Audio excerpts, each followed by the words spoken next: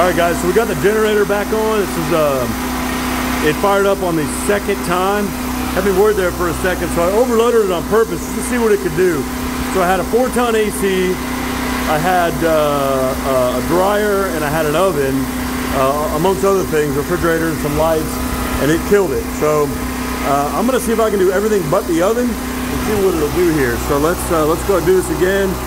Uh, this AC is what, uh, whoa, there it did it right away. That's surprising. Uh, previously it took, it took about 10 minutes. So let's go, let's go in here and see if, uh, see if that did it.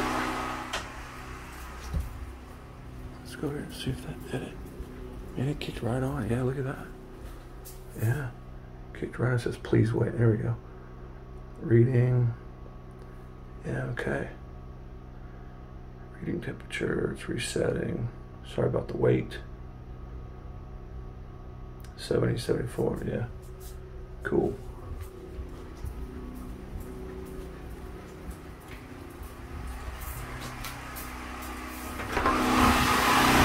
We got some rain coming in.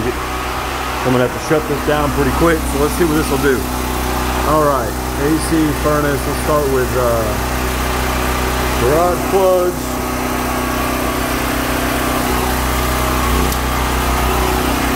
There we go.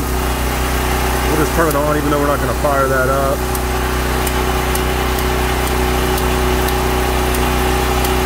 Okay. Dryer. Okay. There we go. We're rocking and rolling and we only got probably less than five minutes before this rain hits. We got everything on. Good to go here. All right, let's go turn some stuff on. See what uh, see what we can do here. Put that on, put this on. So let's turn everything on except for the dryer. See if we can't get this. Uh...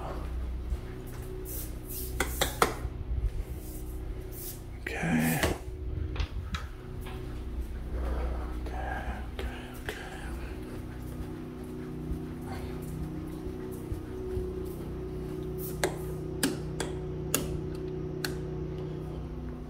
All right, I'll get the oven, the microwave, got that. Coffee, coffee pot. So it's um.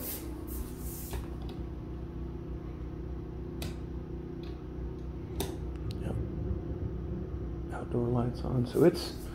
I gotta. I mean, that's everything, man. Let's see. Go ahead. Take the TV on. This thing's a hoss, man. So I got it set to 70, 74. Got the lights on. I mean, this thing's ready to rock and roll. I mean, I, you know, most lights on. Let's see. I mean, you can hear it just outside that window. So, yeah, I mean, it'll do it. That's it, man. So everything but the dryer and the oven. Um, and that's doing it, man. That's a pretty good load. Fan on.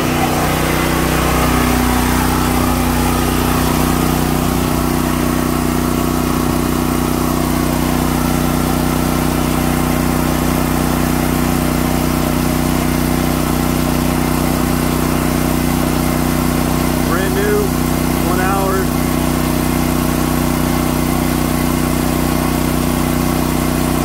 Yeah, 240 volts. 61, 62 hertz.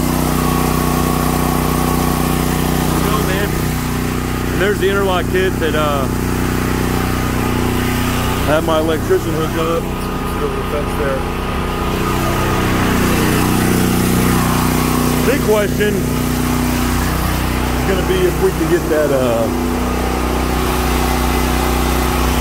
gonna be if we can get that that propane to do uh, you know even close to that as you can see the, the house lights on me back here there we go right there the big question is going to be if we can get See if I can do it with a propane. I don't know if I'm gonna beat the rain. I don't know if you can see it. It's, it's getting pretty nasty behind me.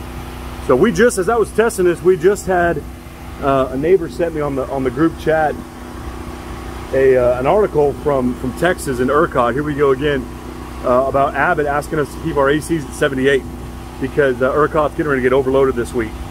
So this is the week of uh, June 13th. So uh, 2021, uh, 2021's off to a fantastic start. So, uh, but as you can see, I got my preps ready. Um, you know, for the most part, here, got some gas, got some uh, stabilizer here, ready to go, man. I got me some propane, extra oil. After a couple hours running the generator, probably five or six, I'm gonna run. Uh, I'm gonna run some full synthetic in it. Um, but man, it's doing it's doing great so far. Excuse the dryer. That's got a date with some tanner. Um, yeah, that's about it, man. Uh, I'm, I'm pretty excited. That that Westinghouse is a is a beast, man. It's an absolute hoss. So I'm looking at raindrops, guys. That's gonna be it. You can see what it does. Again, the house is about 2,600 square feet. Uh, newer home, and uh, with a four-ton AC, that's the big thing. So that that AC did uh, uh, took quite a bit of, of, power. I do have a uh, hard start kit on it. It's like 20, 30 bucks uh, from Amazon. I'll put a link in the description below. That's helping, whether it's 5% or 500%, I'm not sure. Uh, either way, um, yeah, that was a cheap, cheap install, and uh, you know, I'm sure that's helped. Have my electrician install that while he was out here anyway. I'm gonna beat the rain. I hope that helps some of you guys. I'm out. Later.